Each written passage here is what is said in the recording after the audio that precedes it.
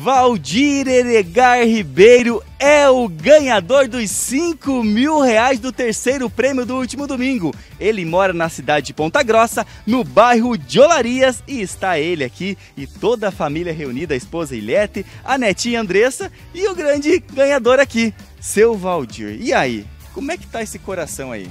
Ah, o coração ficou acelerado ontem. Ontem deu uma acelerada. Que teve até churrasco na hora do almoço ontem para comemorar os 5 mil reais. Teve um churrasquinho na hora do almoço.